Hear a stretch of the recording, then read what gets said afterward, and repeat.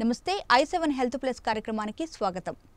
శరీరంలో అతిపెద్ద గ్రంథిగా కాలేయాన్ని చెప్తారు. ఆధునిక కాలంలో రకరకాల కారణాలతో ఈ కాలేయంలో సమస్యలు ఏర్పడుతున్నాయి. కాలేయంలో ఏర్పడే సమస్యలు ఏమిటి? వాటికి చికిత్స విధానాలు ఎలా ఉంటాయి? వంటి విషయాల్ని మనకు వివరించేందుకు ప్రముఖ surgical gastroenterologist and liver transplant surgeon national institute of gastroenterologist and liver diseases director doctor RV Raghavendra Rao గారు మనతో పాటు ఉన్నారు. మరి డాక్టర్ గారిని అడిగి మరిన్ని విషయాలు తెలుసుకుందాం. డాక్టర్ గారు ఈ కాలేయ మార్పిడి గురించి మరి కాస్త వివరంగా చెప్తారా? అంటే లివర్ అనేది అంటే కాలేయము మనకి జీర్ణ వ్యవస్థలో అనుబంధంగా ఉంటుంది. మనకి కడుపులో కుడిపక్కన పైభాగంలో అమరి ఉండి లివర్ అనేది జీర్ణ వ్యవస్థలో చాలా కీలకమైన పాత్ర పోషిస్తుంటాయి ఓన్లీ జీర్ణ వ్యవస్థలోనే కాకుండా శరీరంలో జరిగే అనేక ప్రక్రియల్లో కూడా లివర్ అనేది చాలా ప్రాముఖ్యమైన పాత్ర పోషిస్తూ ఉంటుంది. ముఖ్యంగా మనం తిన్న ఆహారంలో ఉండేటువంటి అన్ని పదార్థాలని కూడా మనం తిన్న ఆహారంలో ముఖ్యంగా మూడు పదార్థాలు ఉంటాయి. ఒకటి కొవ్వు పదార్థాలు పిండి పదార్థాలు అదేవిధంగా మాంసకృతులు. ప్రోటీన్స్ కార్బోహైడ్రేట్స్ అదేవిధంగా ఫ్యాట్స్. ఈ మూడింటిని కూడా విభజించి మళ్ళీ వాటిని శరీరానికి అందే విధంగా రూపొందించి ఒక ఫ్యాక్టరీ లాగా ముడి సరుకుని వినియోగించుకొని శరీరానికి కావాల్సినటువంటి అన్ని పదార్థాలని అవి ఎంజైమ్స్ కానివ్వండి హార్మోన్స్ కానివ్వండి ప్రోటీన్స్ కానివ్వండి శరీరానికి అవసరమైనటువంటి మిగిలిన అన్ని పదార్థాలని కూడా సప్లై చేసేటువంటి ఒక ఫ్యాక్టరీ లాగా లివర్ పనిచేస్తూ ఉంటుంది. అదేవిధంగా శరీరంలో జరిగేటువంటి అనేక ప్రక్రియల్ని సమన్వయం చేస్తూ వాటిని కోఆర్డినేట్ చేస్తూ అనేక రకాల ఎంజైమ్ ప్రక్రియలు హార్మోన్ ప్రక్రియలు వీటిలన్నిటినీ కూడా కోఆర్డినేట్ చేసేటువంటి ముఖ్యమైన పనిని కూడా లివర్ చేస్తూ ఉంటుంది. ఇవే కాకుండా శరీరంలో ఉండేటువంటి గ్లూకోజ్ నిల్వలు అంటే శరీరం ఏంటంటే ఎప్పుడైనా సరే గ్లూకోజ్ పైన ఆధారపడి ఉంటుంది. శరీరంలో ప్రతి కణానికి కూడా అవసరమైనది ఎనర్జీ అనేది గ్లూకోజ్ ద్వారానే చేరుతుంది. మనం ఏమైనా తినండి. మనం మాంసం తినండి పండు తినండి ఏం తిన్నా కానీ అది అల్టిమేట్గా మనకి గ్లూకోజ్ రూపంలో మాత్రమే మన శరీరంలో ఉండే కణాలకి చేరగలదు. మరి ఆ గ్లూకోజ్ యొక్క స్థాయి అనేది శరీరంలో మెయింటైన్ చేయకపోతే సడన్గా మనకి శరీరంలో ఉండేటువంటి అనేక రకాల భాగాలు చచ్చుపడిపోతాయి. అందువల్ల ఏంటంటే గ్లూకోజ్ యొక్క రిజర్వ్స్ని మనం శరీరం ఎప్పుడు కూడా లివర్లో అమర్చుకొని ఉంటుంది. ఎప్పుడు అవసరమైతే గ్లూకోజ్ దాన్ని తక్షణమే విడుదల చేయడానికి లివరు గ్లూకోజ్ని నిల్వ చేసుకొని ఉంటుంది.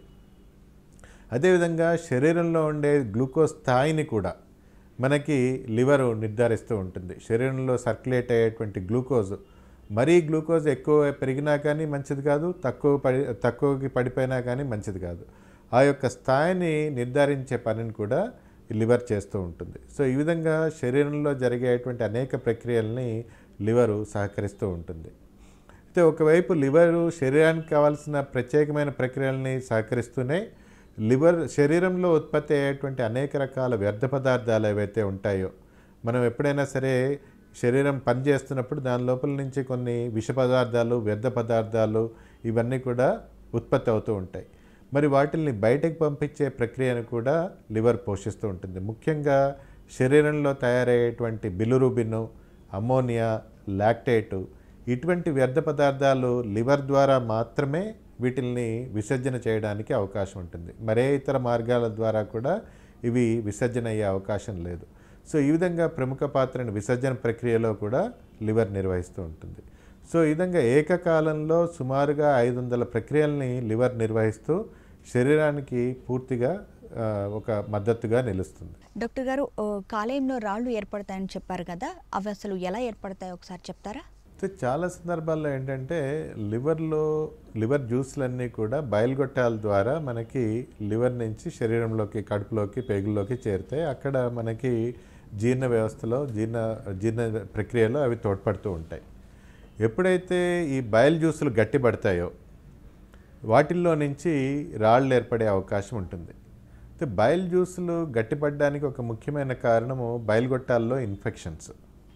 పర్టికులర్గా కొన్ని రకాల పారాసైటిక్ ఇన్ఫెక్షన్స్. దీన్ని క్లోనార్కిస్ సైనసిస్ అని ఈ విధమైన కొన్ని పరాన్నజీవుల ఇన్ఫెక్షన్స్ అదేవిధంగా కొన్ని రకాల బ్యాక్టీరియల్ ఇన్ఫెక్షన్స్. వీటిల మూలంగా ఈ బయలుగొట్టాల్లో రాళ్ళు ఏర్పడే అవకాశం ఉంటుంది. పర్టికులర్గా ఇంట్రాహెపాటిక్ స్టోన్స్ అంటే లివర్ లోపల ఉండేటువంటి బయలుగొట్టాల్లో స్టోన్స్ ఏర్పడడం. అదేవిధంగా కొన్నిసార్లు ఏమవుతుందంటే బయలుగొట్టాలు బై బర్త్ ఉబ్బి ఉంటాయి. నార్మల్ సైజు కంటే ఇవి వాపు ఎక్కువగా ఉంటుంది. దీని మూలంగా ఏమవుతుందంటే బయల్ స్టాసిస్ ఏర్పడుతుంది అంటే బయలు జ్యూసులు కిందకి దిగే ఇది స్లో స్లోగా దిగుతూ ఉంటాయి. దాని మూలంగా ఎప్పుడైతే బయల్ స్టాసిస్ ఏర్పడుతూ ఉందో దాంతో ఈ బయలు గొట్టాల్లో రాళ్ళు చేరే అవకాశం ఉంటుంది. ఈ యొక్క పద్ధతి ఈ యొక్క ప్రాబ్లమ్ని కోల్డోకల్ సిస్ట్ అంటారు. అంటే ఇది పుట్టుకతో వచ్చేటువంటి ఇబ్బంది. అదేవిధంగా కొన్నిసార్లు బయలుగొట్టాల్లో బ్లాక్స్ ఏర్పడతాయి. అది ఇన్ఫెక్షన్ కానివ్వండి మరొక కారణం కానివ్వండి ఆటోఇమ్యూన్ ప్రాబ్లమ్స్ కానివ్వండి. వీటి మూలంగా ఎప్పుడైతే బయలుగొట్టాల్లో బ్లాక్స్ ఏర్పడతాయో దాని లోపల మళ్ళా రాళ్ళు చేరే అవకాశం ఉంటుంది. సో ఈ విధమైన కారణాల మూలంగా బయలుగొట్టాల్లో ఇన్ పర్టికులర్గా లివర్లో ఉండే బయలుగొట్టాలు. Intrahepatic gall bladder intrahepatic bile duct stones అనేవి మనం చూస్తూ ఉంటాం. మరి ఈ కాలేయంలో ఏర్పడే రాళ్ళ సమస్య లక్షణాలు ఎలా ఉంటాయి? నీటి బుగ్గలతో కంపేర్ చేస్తే ఇంత మునుపు మనం చెప్పినప్పుడు నీటి బుగ్గలు చాలా మటుకు ఏసిమ్టమాటిక్ ఉంటాయనేది మనం చెప్పడం జరిగింది. అంటే ఎటువంటి రోగ లక్షణాలు లేకుండా ఉంటాయనేది చెప్పడం జరిగింది.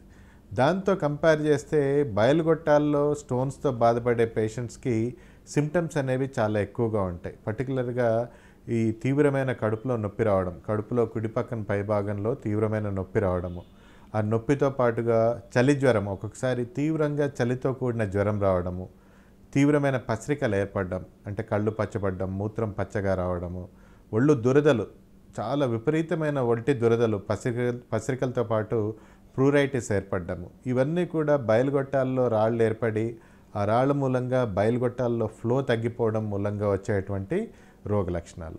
మరి ఈ రాళ్ళ సమస్యను ఎలా నిర్ధారణ చేస్తారు? అయితే నేను చాలా సందర్భాల్లో చెప్తూ ఉంటాను. ముఖ్యంగా లివర్లో కుడి పక్కన పైభాగంలో ఎటువంటి ఇబ్బంది ఉన్నా లివర్ స్కాన్ అనేది అల్ట్రాసౌండ్ స్కాన్ అనేది చేయడం చాలా ఇంపార్టెంట్. సింపుల్ అల్ట్రాసౌండ్ స్కాన్ విధానాల ద్వారా అసలు లివర్లో ఏమి ఇబ్బందులు ఏర్పడుతున్నాయి? లివర్లో బయలుగొట్టాలు అన్నాయి రాళ్ళ రాళ్ళ లాంటివి ఉన్నాయా? రాళ్ళు ఉంటే వాటి యొక్క సైజ్ ఏంటి? ఆ రాళ్ళు రావడానికి మూల కారణం అండర్లయింగ్ ప్రాబ్లం ఏంటి? ఇవన్నీ కూడా మనం తెలుసుకోవడానికి సింపుల్ అల్ట్రాసౌండ్ స్కాన్ విధానంలో వీలవుతుంది. అదేవిధంగా కొన్ని రకాల రక్త పరీక్షలు ముఖ్యంగా లివర్ ఫంక్షన్ టెస్ట్ లాంటి పరీక్షలు చేయడం ద్వారా ఈ రాళ్ళ ఇబ్బందితో మనకి లివర్ ఫంక్షన్ పైన ఎంత ఎఫెక్ట్ పడుతుంది? దీని యొక్క తీవ్రత ఎంత ఉంది? లివర్ డ్యామేజ్ ఎంత అవుతుంది? ఇవన్నీ కూడా విషయాలు తెలుసుకోవడానికి అవకాశం ఉంటుంది. అయితే కొన్ని సందర్భాల్లో ఈ యొక్క రాళ్ళు లివర్లో బయలుగొట్టాల్లో రాళ్ళు ఏర్పడినప్పుడు వాటి తీవ్రత తెలుసుకోవడానికి వాటిల్ని మనము క్యూర్ చేయడానికి ట్రీట్ చేయడానికి తీసుకోవాల్సిన అవసర ఎటువంటి అవకాశాలు అవైలబుల్ ఉన్నాయనేది తెలుసుకోవడానికి కొన్ని ప్రత్యేకమైన పరీక్షలు చేయాల్సిన అవసరం ఉంటుంది. పర్టికులర్గా ఎంఆర్సిపి టెస్ట్ అంటే ఎంఆర్ఐ ద్వారా బయలుగొట్టాలని ఇమేజ్ ఇమేజ్ చేయడం. ఈ బయలుగొట్టాల ఇమేజ్నే మనము ఎంఆర్సిపి అంటారు. అదేవిధంగా అవసరాన్ని బట్టి ఎండోస్కోపిక్ అల్ట్రాసౌండ్ నేను ఇంత మునుపుగా చెప్పినట్టు రొటీన్గా చేసేటువంటి ఎండోస్కోపిక్ పరికరానికి అల్ట్రాసౌండ్ పరికరాన్ని జోడించి దాన్ని పేగు ద్వారా లోపలికి పంపించి బయలుగొట్టాలని చాలా దగ్గరగా మనము చూసే అవకాశం ఉంటుంది. దాని ద్వారా బయలుగొట్టాల్లో ఎటువంటి ఇబ్బంది ఉంది? రాళ్ళు లాంటివి ఎన్ని ఉన్నాయి? ఆ రాళ్ళ మూలంగా వస్తున్నటువంటి మార్పులు ఏంటి బయలుగొట్టాల్లో? ఈ విషయాలన్నింటినీ కూడా చూసుకోవడానికి అవకాశం ఉంటుంది. మరి ఈ రాళ్ళ సమస్యకు చికిత్సా విధానాలు ఏంటంటారు? అంటే ఈ యొక్క రాళ్ళు ఒకసారి నిర్ధారణ అయిన తర్వాత చాలా సందర్భాల్లో వీటిల్ని తొలగించాల్సిన అవసరం ఉంటుంది. ఈ ఈ బయలుగొట్టాల్లో ఒకసారి రాళ్ళు ఏర్పడిన తర్వాత దాన్ని మనము మనం నెగ్లెక్ట్ చేసే అవకాశం ఉండదు. ఎందువల్ల అంటే దాని ద్వారా దాన్ని కనుక లోపలే వదిలేస్తే పర్మనెంట్గా లివర్ డ్యామేజ్ అయ్యే అవకాశం ఉంటుంది. అయితే చాలా సందర్భాల్లో లివర్ లోపల బయలుగొట్టాల్లో ఎప్పుడైతే రాళ్ళు ఏర్పడతాయో వాటిల్ని ఎండోస్కోపిక్ విధానాల ద్వారా తొలగించే అవకాశాలు తక్కువ. లివర్ బయట ఉండే బయలుగొట్టాల్లో కనుక ఈ స్టోన్స్ ఏర్పడితే వాటిల్ని మనం స్పెషల్ ఎండోస్కోపీ విధానాలు ఈఆర్సిపి అంటారు. ఈ విధానాల ద్వారా పూర్తిగా తొలగించే అవకాశాలు మెరుగ్గా ఉంటాయి. అయితే లివర్ లోపల బయలుగొట్టాల్లో ఎప్పుడైతే స్టోన్స్ ఏర్పడతాయో వాటిల్ని ఎండోస్కోపీ విధానాల ద్వారా కాకుండా చాలా సందర్భాల్లో ఆపరేషన్ విధానాల ద్వారా తొలగించాల్సి ఉంటుంది. ఈ ఆపరేషన్స్లో కూడా కొన్ని సందర్భాల్లో అవసరమైనప్పుడు లివర్లోని కొంత భాగాన్ని తీసేయాల్సిన అవసరం ఉంటుంది. అంటే హెపటెక్టమీ ఆపరేషన్ ద్వారా ఈ యొక్క లివర్లోని కొంత భాగాన్ని ఏదైతే బాగా డ్యామేజ్ అయిందో ఈ లివర్లో గొట్ బయలుగొట్టాల్లో స్టోన్స్ చేరి ఆ ఇన్ఫెక్షన్ మూలంగా ఏదైతే లివర్ పార్ట్ డ్యామేజ్ అయిందో దాన్ని ఆపరేషన్ ద్వారా తొలగించాల్సిన అవసరం ఉంటుంది. సో ఈ విధంగా అవసరాన్ని బట్టి కొన్ని సందర్భాల్లో ఈఆర్సిపి విధానాలు కొన్ని సందర్భాల్లో ఆపరేషన్ విధానాలు చేయడం ద్వారా ఈ యొక్క లివర్లో బయలుగొట్టాల్లో ఎప్పుడైతే స్టోన్స్ ఏర్పడతాయో వాటిని పూర్తిగా క్యూర్ చేసే అవకాశం కూడా ఉంటుంది. డాక్టర్ గారు కాలేయంలో తలెత్తే సమస్యలు ఏంటంటారు? చాలా సందర్భాల్లో లివర్లో వచ్చే సమస్యలు అది వాపు కానివ్వండి అంటే ఇన్ఫ్లమేషను ఇన్ఫెక్షన్స్ వీటిలన్నీ అదే డ్రగ్ రిలేటెడ్ ఇంజరీస్ అంటే డ్రగ్తో వచ్చేటువంటి మందుల ద్వారా కానివ్వండి కెమికల్స్ ద్వారా కానివ్వండి వచ్చేటువంటి ఇబ్బందులు వీటిలన్నిటినీ కూడా మనము మెడికల్ ట్రీట్మెంట్గా ట్రీట్మెంట్ తోటి వాటిల్ని కంట్రోల్ చేసే అవకాశము తగ్గించే అవకాశము నివారించే అవకాశము ఉంటుంది. కొన్ని సమస్యల్లో మాత్రము తప్పనిసరిగా మనం ఆపరేషన్ విధానాన్ని అవలంబించాల్సి ఉంటుంది. ముఖ్యంగా లివర్లో వచ్చేటువంటి నీటి బుగ్గలు వీటిల్ని లివర్ సిస్ట్ అంటారు. అదేవిధంగా లివర్లోని గొట్టాల్లో లివర్ బయలు గొట్టాలు ఏవైతే ఉంటాయో వాటి లోపల ఏర్పడేటువంటి రాళ్ళ సమస్య వీటిల్లో కూడా చాలా సందర్భాల్లో ఆపరేషన్ చేయవలసి వస్తుంది. మూడోది లివర్లో ఏర్పడేటువంటి కణుతులు అంటే గడ్డలు. వీటిల్లో కూడా లివర్లో ఆపరేషన్స్ అనేవి చేయవలసి వస్తుంది. ఈ విధంగా లివర్లో నీటి బుగ్గలు లివర్లో రాళ్ళు ఏర్పడము లివర్లో కణుతులు ఏర్పడడం. వీటిల్లో ముఖ్యంగా మనము ఈ సర్జికల్ విధానాలని మనం అవలంబిస్తూ ఉంటాం. కాలేయంలో నీటి బుగ్గలు ఏర్పడతాయని చెప్పారు కదా అసలు ఈ కాలేయంలో నీటి బుగ్గలు ఎలా ఏర్పడతాయో ఒకసారి చెప్తారా? అంటే లివర్లో వచ్చే నీటి బుగ్గలు మనం ముఖ్యంగా రెండు విధానాలుగా చూసుకోవాలి. ఒకటి సింపుల్ లివర్సిస్ అంటే అవి బై బర్త్ ఉండేటువంటి పుట్టుకతోటి లివర్లో లివర్లో జరిగే కొన్ని మార్పుల మూలంగా ఏర్పడేటువంటి నీటి బుగ్గలు. వీటిల్ని సింపుల్ లివర్సిస్ అంటారు. ఇవి సాధారణంగా ఒకటి లేదా రెండు మాత్రమే లివర్లో ఉంటూ ఉంటాయి. కొన్ని సందర్భాల్లో ఏమవుతుందంటే కొన్ని జన్యుపరమైన మార్పుల మూలంగా ఈ నీటి బుగ్గలు అనేవి మల్టిపుల్ నీటి బుగ్గలు కూడా మనకి లివర్లో కనపడవచ్చు. దీన్నే అడల్ట్ పాలిసిస్టిక్ లివర్ డిసీజ్ అంటారు. దీని లోపల ఏంటంటే కొన్ని రకాల జన్యుపరమైన లోపాల మూలంగా జన్యుపరమైన మార్పుల మూలంగా లివర్లో అనేక రకాల నీటి బుగ్గలు అనేవి లివర్ మొత్తం కూడా వ్యాప్తి వ్యాప్తి చెంది ఉంటాయి అన్నమాట రెండో రకమైన నీటి బుగ్గలు ఏంటంటే కొన్ని రకాల ఇన్ఫెక్షన్స్ మూలంగా వచ్చేటువంటి నీటి బుగ్గలు. పర్టికులర్గా పారాసైటిక్ ఇన్ఫెక్షన్స్ ఉంటాయి. అంటే పరాన్న జీవుల ద్వారా వచ్చేటువంటి లివర్లో ఇన్ఫెక్షన్స్. దీన్నే హైడాటిడ్ సిస్ట్ అంటారు. ఇవి చాలా సందర్భాల్లో మనము మనకి ఆంధ్రప్రదేశ్ పర్టికులర్గా రాయలసీమ ఏరియాస్లో కొన్ని రకాల కొన్ని తెలంగాణ డిస్ట్రిక్ట్స్లో మహారాష్ట్ర ఇటువైపు ఈ యొక్క పారాసైటిక్ ఇన్ఫెక్షన్స్ మనకి ఎక్కువగా చూస్తూ ఉంటాం. వీటిల్లో ఏమవుతుందంటే ఈ పరాన్నజీవి పారాసైట్ అనేది లివర్లో చేరి over a period of time ten years fifteen years టైంలో ఇది ఒక పెద్ద నీటి బుగ్గలాగా తయారవుతుంది. ఈ హైడ్రాటిడ్ సిస్ట్ అనేవి ఒక్కొక్కసారి ప్రమాదకరంగా కూడా మారవచ్చు. సో ఈ విధంగా పుట్టుకతో వచ్చేటువంటి నీటి బుగ్గలు పరాన్నజీవుల మూలంగా వచ్చేటువంటి నీటి బుగ్గలుగా మనము లివర్లో వచ్చేటువంటి సిస్ట్లని మనం చూసుకోవచ్చు.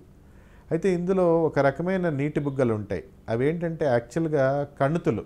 అంటే లివర్లో వచ్చే కణుతులు కూడా లివర్ ట్యూమర్స్ కూడా కొన్ని సందర్భాల్లో నీటి బుగ్గ రూపంలో మనకి కనిపించవచ్చు. యాక్చువల్గా అది నీటి బుగ్గ కాదు. అది లివర్ యొక్క ట్యూమర్స్ పర్టికులర్గా బిలియరీ సిస్టడినోమా అంటారు. ఇది చాలా సందర్భాల్లో మనకి ఎంతో ఎక్స్పీరియన్స్ ఉన్న వాళ్ళని కూడా ఒక్కొక్కసారి వీటిల్ని సాధారణమైన నీటి బుగ్గలు అనుకొని అది వాటిల్ని ట్రీట్ చేయడం జరుగుతూ ఉంటుంది. అయితే ఇన్ఫ్యాక్ట్ అవి ఏంటంటే యాక్చువల్గా నీటి బుగ్గల రూపంలో ఉండేటువంటి ఈ యొక్క లివర్ ట్యూమర్స్ అన్నమాట. సో ఈ యొక్క టైప్ ఆఫ్ నీటి బుగ్గల్ని కూడా మనం చాలా కేర్ఫుల్గా అబ్జర్వ్ చేయవలసి ఉంటుంది. కాలేయంలో ఏర్పడే నీటి బుగ్గల లక్షణాలు ఎలా ఉంటాయి? తప్పకుండా ఉంటాయి. అయితే చాలా సందర్భాల్లో ఈ నీటి బుగ్గలు అనేవి ఏసిమ్టమాటిక్గానే ఉంటాయి. అంటే ఎటువంటి రోగ లక్షణాలు కానీ ఇబ్బందులు కానీ లేకుండానే లోపల లోపలే ఈ సైజ్ అనేది పెరుగుతూ ఉంటుంది. చాలామంది పేషెంట్లలో వీటికి సిమ్ జీవితాంతం కూడా ఏసిమ్టమాటిక్గానే ఉంటాయి. వాటితో వచ్చే ఇబ్బందులు కానీ దాంతో వచ్చే సమస్యలు కానీ చాలామందికి ఉండవు. అసలు ఇటువంటి నీటి బుగ్గలు ఉన్నాయనే విషయం కూడా చాలామందికి తెలియదు అయితే కొందరు పేషెంట్లలో మాత్రం పర్టికులర్గా ఎప్పుడైతే నీటి బుగ్గ యొక్క సైజు పెరుగుతూ ఉంటుందో అంటే మోర్ దాన్ ఫైవ్ సెంటీమీటర్స్ అయినప్పుడు జనరల్గా ఈ నీటి బుగ్గ స్థాయి ఫైవ్ సెంటీమీటర్స్కి మించి ఎదిగితే గనక వాళ్ళల్లో ప్రెషర్ సిమ్టమ్స్ పెరుగుతాయి. అంటే ముఖ్యంగా కడుపులో కుడి పక్కన పైభాగంలో నొప్పి రావడము ఆ నొప్పి ఇంటెన్సిటీ అనేది బాగా ఎక్కువగా ఉండడము ఆ నొప్పి తీవ్రత బాగా పెరగడము దాంతోపాటుగా ఒక్కొక్కసారి ఈ పసిరికలు ఏర్పడడము అదేవిధంగా చలితో కూడిన జ్వరం రావడము ఈ విధమైన ఇబ్బందులు కూడా కొన్ని సందర్భాల్లో ఈ నీటి బుగ్గలతో సఫర్ అయ్యే పేషెంట్స్లో మనం చూస్తూ ఉంటాం. అంటే ఈ ఈ నీటి బుగ్గల్ని అసలు ఎలా నిర్ధారణ చేస్తారు? చాలా సందర్భాల్లో ఏంటంటే సిమ్టమ్స్ లేని పేషెంట్స్లో మనము ఎప్పుడైనా వాళ్ళు మాస్టర్ హెల్త్ చెకప్కి వెళ్ళినప్పుడు లేకపోతే ప్రెగ్నెన్సీ అప్పుడు లేడీస్ అయితే వాళ్ళు ఈ అల్ట్రాసౌండ్ స్కాన్స్ చేసినప్పుడు ఈ నీటి బుగ్గలు అనేవి మనకి బయటపడుతూ ఉంటాయి. అయితే ఏ పేషెంట్లో అయితే మనకి రోగ లక్షణాలు ఉంటాయో వాళ్ళలో మనం కొన్ని పరీక్షలను చేయడం ద్వారా ఈ నీటి బుగ్గల యొక్క స్థాయి ఎంత ఉంది ఎన్ని నీటి బుగ్గలు ఉన్నాయి వాటి యొక్క సైజ్ ఎంత ఉంది వాటికి మూల కారణం ఏంటి? అది సింపుల్ నీటి బుగ్గల లేకపోతే అవి హైడ్రాటెడ్ సిస్టా ఇన్ఫెక్షన్స్ మూలంగా వచ్చిన సిస్సా అనేది కూడా మనం నిర్ధారణ చేయడానికి అవకాశం ఉంటుంది. దీనికి మనం అనేక రకాల బ్లడ్ టెస్ట్లు అంటే హైడ్రాటెడ్ సీరాలజీ అని లేకపోతే లివర్ ఫంక్షన్ టెస్ట్ అని అదేవిధంగా అల్ట్రాసౌండ్ స్కాను సిటీ స్కాను కొన్ని సందర్భాల్లో అవసరాన్ని బట్టి ఎంఆర్ఐ స్కాను వీటిల ద్వారా మనము ఈ యొక్క ఇన్ఫెక్షన్స్ ఉన్నాయా లేకపోతే నీటి బుగ్గలు ఏ టైప్ ఆఫ్ నీటి బుగ్గలు అనేది నిర్ధారణ చేయడానికి అవకాశం ఉంటుంది. కొన్ని సందర్భాల్లో కొన్ని స్పెషల్ ఇన్వెస్టిగేషన్ విధానాలు ఉంటాయి. పర్టికులర్గా ఎండోస్కోపిక్ అల్ట్రాసౌండ్ అంటారు. అంటే సాధారణంగా జరిగే ఎండోస్కోపీ మెషనరీతో పాటుగా ఆ ఎండోస్కోపీకే అటాచ్డ్ చాలా సునిశ్చితమైనటువంటి అల్ట్రాసౌండ్ ఉంటుంది. ఆ అల్ట్రాసౌండ్ని లోపలికి ఈ గొట్టాల ద్వారా పంపించి దాంతో నీటి బుగ్గల్ని పరీక్ష చేయడం. తద్వారా నీటి బుగ్గల్లో జరుగుతున్నటువంటి చిన్న చిన్న మార్పులు కూడా దాని లోపల ఉన్నటువంటి చిన్న చిన్న విషయాలు కూడా సూక్ష్మమైన విషయాలని కూడా మనము పరిశీలించడానికి అవకాశం ఉంటుంది. సో ఈ విధంగా అవసరాన్ని బట్టి బ్లడ్ టెస్ట్లు radiological investigations special investigations like endoscopic ultrasound వీటిల్ని చేయడం ద్వారా ఈ నీటి బుగ్గల యొక్క మూల కారణం ఏంటి వాటి యొక్క తీవ్రత ఎంత ఉంది వాటి యొక్క పరిణామం పరిమాణం ఎంత ఉంది ఇవన్నీ కూడా మనకి ఆ, బేరీజ్ చేయడానికి అవకాశం ఉంటుంది. మరి ఈ నీటి బుగ్గలకి చికిత్సా విధానాలు ఎలా ఉంటాయో ఒకసారి వివరిస్తారా? అంటే నేను ఇంత మునుపుగా చెప్పినట్టు నీటి బుగ్గలు ఉన్న అందరు పేషెంట్లలోనూ మనకి ఆపరేషన్ అనేది అవసరం పడదు. ఇన్ఫ్యాక్ట్ చాలామంది పేషెంట్స్లో ఇవి ఎటువంటి ఇబ్బంది కలిగించకుండా లైఫ్ లాంగ్ కూడా అట్లనే ఉండిపోతాయి. ఎవరైతే పేషెంట్స్లో సిమ్టమ్స్ ఉంటాయో పర్టికులర్గా ఈ నీటి బుగ్గల యొక్క సైజు ఫైవ్ సెంటీమీటర్స్ మించి ఉంటుంది. అటువంటి పేషెంట్స్లో మనము ఆపరేషన్ల ద్వారా వాటిని తొలగించాల్సిన అవకాశం అవసరం ఉంటుంది. సింపుల్ సిస్ట్ కానీ అడల్ట్ పాలిసిస్టిక్ లివర్ ప్రాబ్లం కానీ ఇవి ఉన్నప్పుడు ఏంటంటే మనము ఓపెన్ ఆపరేషన్ చేయకుండా లాప్రోస్కోపీ విధానాల ద్వారా అంటే కీ హోల్ ఆపరేషన్స్ ద్వారా చిన్న చిన్న హోల్స్ పెట్టి వాటి ద్వారా ఆ సిస్ట్లని పూర్తిగా కూడా తొలగించడానికి ఆస్కారం ఉంటుంది. దీన్ని లాప్రోస్కోపిక్ సిస్టెక్టమీ అంటారు. కొన్నిసార్లు ఈ hydrated cyst of the liver ఉన్నప్పుడు కూడా మనం చాలా సందర్భాల్లో లాప్రోస్కోపీ విధానాల ద్వారానే అంటే ఓపెన్ ఆపరేషన్ చేయకుండా హోల్స్ ద్వారా మనం ల్యాప్రో స్పెషలిస్ట్ లాప్రోస్కోపిక్ విధానాల ద్వారా ఈ హైడ్రాటెడ్ సిస్ట్ని పూర్తిగా తొలగించడానికి అవకాశం ఉంటుంది. అయితే కొన్ని సందర్భాల్లో మాత్రము ఈ యొక్క నీటి బుగ్గల్ని తొలగించడానికి హెపటెక్టమీ ఆపరేషన్స్ అవసరం కావచ్చు. కొన్ని ప్రత్యేక సందర్భాల్లో కొన్ని రకాల కాంప్లికేషన్స్ ఉన్నప్పుడు ఈ హైడ్రాటెడ్ సిస్ట్లో కానివ్వండి ఈ యొక్క పాలిసిస్టిక్ లివర్ డిసీజ్లో కానివ్వండి మనం ప్రత్యేక సందర్భాల్లో లివర్లోని కొంత ముక్కని ఆపరేషన్ ద్వారా అది లాప్రోస్కోపీ విధానం కావచ్చు ఓపెన్ విధానం కావచ్చు ఈ విధానాల ద్వారా మనం లివర్లోని కొంత భాగాన్ని తొలగించడానికి తద్వారా రోగికి పూర్తిగా ఉపశమనం కలిగించడానికి వీలవుతుంది. కాలేయంలో కణితులు ఏర్పడతాయని చెప్పారు కదా అసలు ఈ కణితులు ఎలా ఏర్పడతాయంటారు? అంటే సాధారణంగా ఏంటంటే ఎక్కడైనా శరీరంలో కణితి ఏర్పడింది అంటే దాని లోపల ఆ భాగంలో కొన్ని రకాల మార్పులు జరగడం మూలంగా కణితి ఏర్పడుతుంది. కణితి అంటే అది నియంత్రణ లేకుండా ఈ యొక్క భాగం పెరగడం. అదేవిధంగా లివర్లో కూడా ఈ నియంత్రణ లేకుండా ఒక భాగం పెరగడం అనేది మనం చూస్తుంటాం. అయితే ఈ కణుతులు ముఖ్యంగా మనం రెండు రకాలుగా చూసుకోవాలి. ఒకటి ఏంటంటే లివర్లో ఏర్పడే కణుతుల్లో ఏంటంటే అన్ని కణుతులు కూడా క్యాన్సర్ కణుతులు కాదు. మిగిలిన భాగాలతో కంపేర్ చేస్తే లివర్లో పర్టికులర్గా వచ్చేటువంటి కణుతులు ఇవి రెండు రకాలుగా ఉంటాయి. ఒకటి క్యాన్సర్ కాని కణుతులు రెండోది క్యాన్సర్ కణుతులు. అయితే ఈ క్యాన్సర్ కణుతులు పక్కి పర్టికులర్గా రావడానికి లివర్ డ్యామేజ్ ఉన్నప్పుడు సాధారణంగా క్యాన్సర్ కణుతులను చూస్తూ ఉంటాం. ముఖ్యంగా ఆల్కహాల్ మూలంగా కానివ్వండి హెపటైటిస్ వైరస్ ఇన్ఫెక్షన్స్ పర్టికులర్గా హెపటైటిస్ బి లేదా హెపటైటిస్ సి వైరస్ ఇన్ఫెక్షన్స్.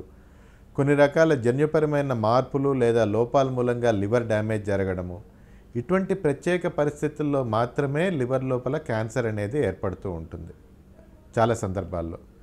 అంటే లివర్ డ్యామేజ్ అయినప్పుడు దాని లోపల కొంత భాగము ట్యూమర్గా మారుతుంది. అదేవిధంగా లివ్ నాన్ క్యాన్సర్ ట్యూమర్స్ ఏవైతే ఉంటాయో అంటే క్యాన్సర్ కాని కణుతులు ఏవైతే ఉంటాయో అవి చాలా సందర్భాల్లో బై బర్త్ పుట్టుకతోటే జరిగేటువంటి కొన్ని మార్పుల మూలంగా ఆ గడ్డలు కణుతులు అనేవి ఏర్పడతాయి. అయితే మోస్ట్ ఆఫ్ ద టైమ్స్ ఈ క్యాన్సర్ కాని కణుతులు ఏవైతే పుట్టుకతో ఏర్పడతాయో అవి హార్మ్లెస్గా మనం చెప్పుకోవచ్చు. మరి కాలేయం ఏర్పడే కణితుల సమస్యల లక్షణాలు ఎలా ఉంటాయి? క్యాన్సర్ కాని కణుతులు ఏవైతే ఉంటాయో అవి చాలా సందర్భాల్లో ఎసింటమాటిక్గా ఉంటాయి లైఫ్ లాంగ్ కూడా. నీటి బుగ్గల్లాగానే ఈ క్యాన్సర్ కాని కణితులు కూడా ముఖ్యంగా హిమాంజోమా అని ఫోకల్ నాడ్యులర్ హైపర్ప్లేజియా అని హిపాటిక్ అడినోమా అని ఇటువంటి క్యాన్సర్ కాని కణుతులన్నీ కూడా చాలా సందర్భాల్లో సిమ్టమ్స్ ఎటువంటి రోగ లక్షణాలు లేకుండా జీవితాంతం కూడా శరీరం లోపలే ఉండిపోతాయి. ఎప్పుడైతే వీటి సైజు పెరుగుతుందో ముఖ్యంగా more than five centimetre size చేరుతాయో అటువంటి సందర్భాల్లో కడుపులో కుడిపక్కన పైభాగంలో నొప్పి రావడము రో- గడ్డ గనక బాగా ఎక్కువగా సైజ్ పెరుగుతూ ఉంటే జాండీస్ ఏర్పడము వాంతులు రావడము ఈ విధమైన ఇబ్బందులు అనేవి మనం క్యాన్సర్ కాని కణుతుల్లో చూస్తూ ఉంటాం. అయితే క్యాన్సర్ కణుతుల్లో మాత్రము చాలా సందర్భాల్లో అన్ఫార్చునేట్లీ సిమ్టమ్స్ అనేవి ముందరగా ఎటువంటివి ఉండవు. చాలా ముదిరిన తర్వాతనే ఈ క్యాన్సర్ కణుతులు బయటపడుతూ ఉంటాయి. అయితే క్యాన్సర్ కణుతుల్లో ముఖ్యంగా రెండు రకాల లక్షణాలు మనము రెండు రకాలుగా లక్షణాలను చూస్తూ ఉంటాం. ఒకటికి క్యాన్సర్కి సంబంధించిన లక్షణాలు అంటే బాగా బరువు తగ్గిపోవడము ఆకలి మందగించడము శరీరం నీర్చబడిపోవడము ఇటువంటి లక్షణాలన్నీ కూడా మనము క్యాన్సర్ ఉన్న పేషెంట్స్లో క్యాన్సర్ మూలంగా చూస్తూ ఉంటాం. అయితే లివర్ క్యాన్సర్ పేషెంట్స్లో ఏంటంటే రెండో వైపు నేను ఇంత మునుపు చెప్పినట్టుగా మోస్ట్ ఆఫ్ ద క్యాన్సర్ కణుతులు లివర్ డ్యామేజ్ అయినప్పుడే ఏర్పడతాయి.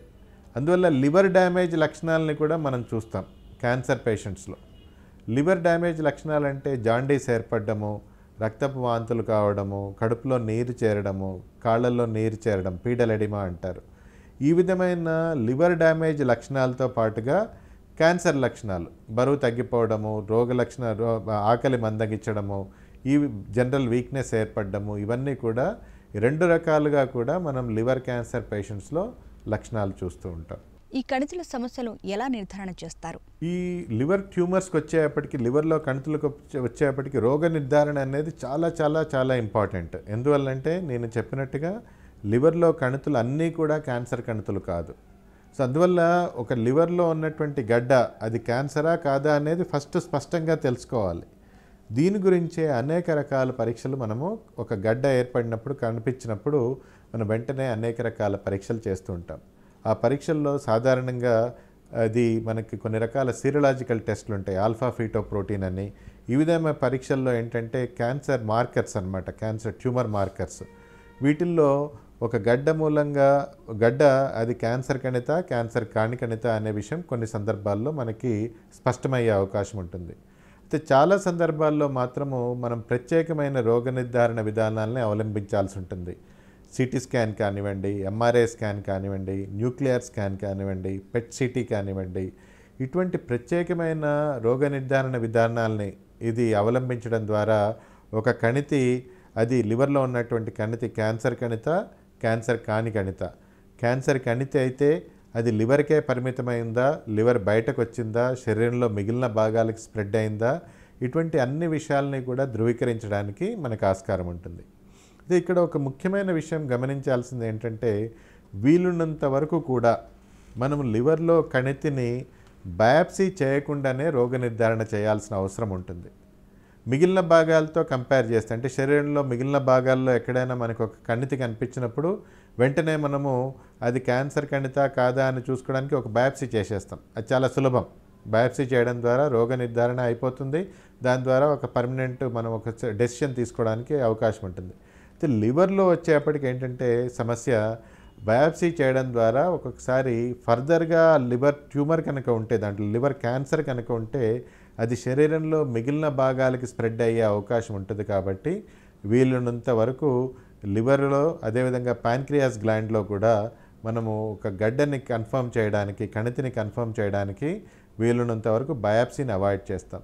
అనివార్య సందర్భాల్లో మాత్రము లివర్లో ట్యూమర్లో నుంచి బయాప్సీ చేయాలి అంటే అది స్పెషల్ ఎండోస్కోపిక్ అల్ట్రాసౌండ్ విధానాల ద్వారా మనం కొన్ని సందర్భాల్లో ఈ లివర్ ట్యూమర్స్కి బయాప్సీ చేసే అవకాశం కూడా ఉంటుంది. ఏదేమైనా వీలున్నంత వరకు కూడా మనము నాన్ సర్జికల్ నాన్ బయాప్సీ విధానాల ద్వారా అంటే MRI scan PET scan CT scan nuclear scan అదేవిధంగా సిరలాజికల్ టెస్టులు రక్త పరీక్షలు వీటి ద్వారా రోగ నిర్ధారణ చేయడానికి ప్రయత్నం చేస్తాం. మరి ఈ కాలంలో కణుతుల సమస్యకు చికిత్సా విధానాలు ఏంటంటారు? చాలా సందర్భాల్లో నాన్ క్యాన్సరస్ ట్యూమర్స్ అయితే అంటే క్యాన్సర్ కాని కణుతుల్లో మనం ఎటువంటి ఇంటర్వెన్షన్ చేయాల్సిన అవసరం పడదు. కొన్ని సందర్భాల్లో మాత్రం ఎప్పుడైతే తీవ్రంగా ఈ కణితి ఉంటుందో అంటే మోర్ దాన్ ఫైవ్ సెంటీమీటర్స్ ఉంది లేకపోతే దాని మూలంగా సిమ్టమ్స్ ఎక్కువగా ఏర్పడుతున్నాయి దాని మూలంగా ఇబ్బంది ఎక్కువగా ఏర్పడుతుంది అన్నప్పుడు దానికి హెపటెక్టమీ ఆపరేషన్ అనేది సాధారణంగా మనం చేస్తూ ఉంటాం. క్యాన్సర్ కాకపోయినప్పటికీ కూడా ఆ కణితి మూలంగా ఇబ్బంది ఉన్నప్పుడు తప్పనిసరిగా మనం క్యాన్ హెపటెక్టమీ ఆపరేషన్ చేయడం ద్వారా పూర్తిగా ఆ రోగ లక్షణాల నుంచి రోగికి ఉపశమనం కలిగించవచ్చు. క్యాన్సర్ ఉన్నప్పుడు మాత్రం క్యాన్సర్ అనే ఒకసారి నిర్ధారణ అయినప్పుడు మాత్రం అది సిరలాజికల్ టెస్ట్ ద్వారా కానివ్వండి ట్యూమర్ మార్కర్స్ ద్వారా కానివ్వండి లేదంటే స్పెషలైజ్డ్ సిటీ స్కాన్ విధానాల ద్వారా కానివ్వండి ఎప్పుడైతే క్యాన్సర్ కన్ఫర్మ్ అవుతుందో దాన్ని మనం రెండు రకాలుగా ట్రీట్ చేయవలసి ఉంటుంది. ఒకటి మనం క్యాన్సర్ని ట్రీట్ చేస్తూనే లివర్ని సపోర్ట్ చేయాలి. అయితే నేను ఇంత మునుపుగా చెప్పినట్టు చాలా సందర్భాల్లో లివర్లో క్యాన్సర్ ఉన్నప్పుడు తప్పనిసరిగా లివర్ బ్యాక్గ్రౌండ్ కూడా బాగోదు. సో అందువల్ల ఏంటంటే రోగికి లివర్ క్యాన్సర్ క్యూర్ ఎంత ఇంపార్టెంటో లివర్ యొక్క పరిస్థితిని మనము కంట్రోల్ చేయడం కూడా దాన్ని సపోర్ట్ చేయడం కూడా అంతే ఇంపార్టెంట్. సో సైమల్టేనియస్గా మనం లివర్ యొక్క ట్యూమర్ని నిర్ నిర్మూలించడము లివర్ని సపోర్ట్ చేయడము ఈ రెండు ప్రక్రియల్ని కూడా సైమల్టేనియస్గా నిర్వహించవలసి ఉంటుంది. అయితే ఈ సందర్భంలో ఏంటి అంటే అన్ని అన్ని కండిషన్స్లో కూడా లివర్ క్యాన్సర్కి మనం హెపటెక్టమీ ఆపరేషన్ చేయలేని పరిస్థితి ఉండవచ్చు. వీలున్నంత వరకు కూడా హెపటెక్టమీ ఆపరేషన్ని చేసి ఆ లివర్లో ఉన్నటువంటి క్యాన్సర్ కణితిని తొలగించడం అనేది ముఖ్యం. అయితే లివర్ బ్యాక్గ్రౌండ్ కనుక మనకి సహకరించకపోతే లివర్ బ్యాక్గ్రౌండ్ బాగా డ్యామేజ్ అయి ఉంటే మాత్రము హెపటెక్టమీ ఆపరేషన్ చేయడం ద్వారా లాభం కంటే నష్టం ఎక్కువగా ఉంటుంది. ఇటువంటి సందర్భాల్లో మనం కొన్ని ప్రత్యేకమైన విధానాలని మనం అవలంబిస్తూ ఉంటాం. ముఖ్యంగా టే టేస్ విధానాలు అంటే ట్రాన్సార్టీరియల్ కీమో ఎంబలైజేషన్ విధానాలు. ఇప్పుడు లేటెస్ట్గా ఫర్ ఎగ్జాంపుల్ మైక్రోవేవ్ టెక్నిక్స్.